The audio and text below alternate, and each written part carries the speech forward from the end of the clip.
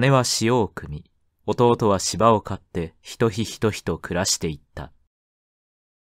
姉は浜で弟を思い、弟は山で姉を思い、日の暮れを待って小屋に帰れば、二人は手を取り合って、つくしにいる父が恋しい、佐渡にいる母が恋しい、と言っては泣き、泣いては言う。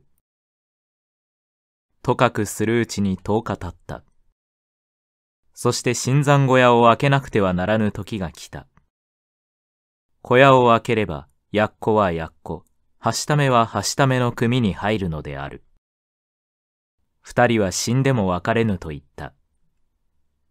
やっこ頭が太夫に訴えた。太夫は言った。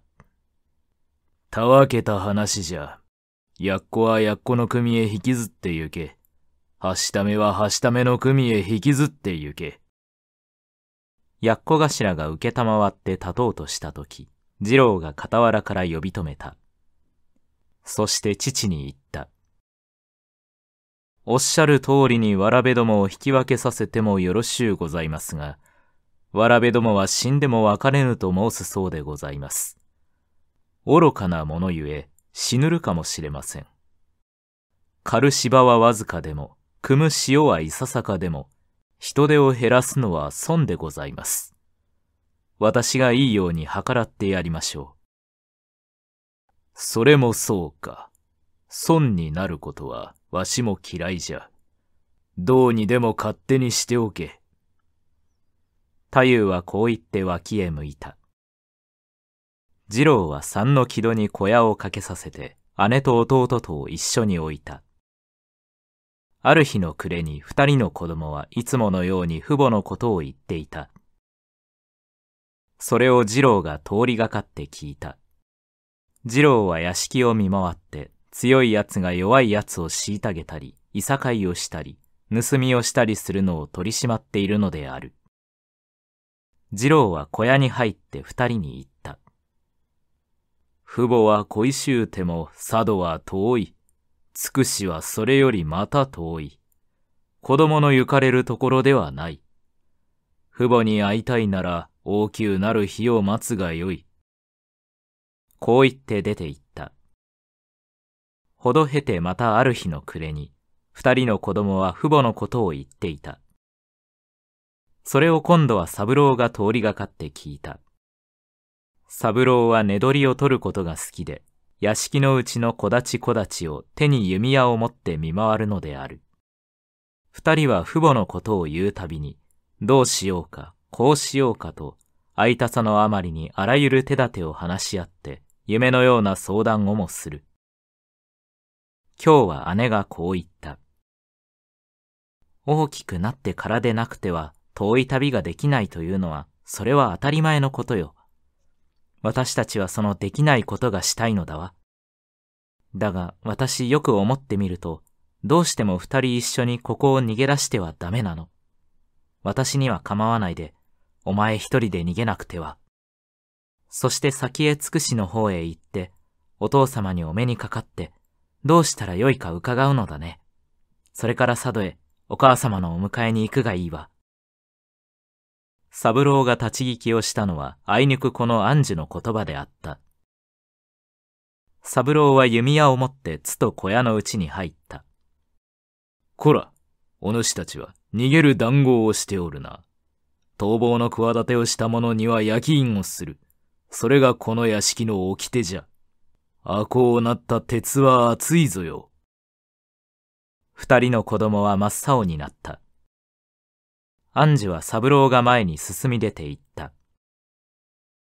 あれは嘘でございます。弟が一人で逃げたって、まあどこまで行かれましょう。あまり親に会いたいので、あんなことを申しました。こないだも弟と一緒に鳥になって飛んで行こうと申したこともございます。出放題でございます。図子王は言った。姉さんの言う通りです。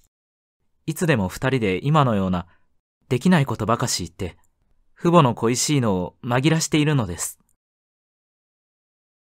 三郎は二人の顔を見比べてしばらくの間黙っていた。嘘なら嘘でもよい。お主たちが一緒におって何の話をするということを、俺が確かに聞いておいたぞ。こう言って三郎は出て行った。その晩は二人が気味悪く思いながら寝た。それからどれだけ寝たかわからない。二人はふと物音を聞きつけて目を覚ました。今の小屋に来てからは、灯火を置くことが許されている。そのかすかな明かりで見れば、枕元に三郎が立っている。三郎はつと寄って両手で二人の手を捕まえる。そして引き立てて戸口を出る。青ざめた月を仰ぎながら、二人は目見えの時に通った広い目道を引かれてゆく。橋を三段登る。細殿を通る。巡り巡って先の日に見た広間に入る。そこには大勢の人が黙って並んでいる。三郎は二人を炭火の真っ赤に起こった炉の前まで引きずって出る。二人は小屋で引き立てられた時から、ただごめんなさい、ごめんなさいと言っていたが、三郎は黙って引きずってゆくので、しまいには二人も黙ってしまった。炉の向かい側にはしとね三枚重ねて敷いて、三章太夫が座っている。太夫の赤顔が座の右左に焚いてある縦明かしを照り返して燃えるようである。三郎は炭火の中から赤く焼けている火箸を抜き出す。それを手に持ってしばらく見ている。はじめ透き通るように赤くなっていた鉄が次第に黒ずんでくる。そこで三郎は暗示を引き寄せて火箸を顔に当てようとする。図子王はその肘に絡みつく。三郎はそれを蹴倒して右の膝に敷く。とうとう火箸を安寿の額に十文字に当てる。安寿の悲鳴が一座の沈黙を破って響き渡る。三郎は安寿を突き放して膝の下の図子王を引き起こし、その額にも火箸を十文字に当てる。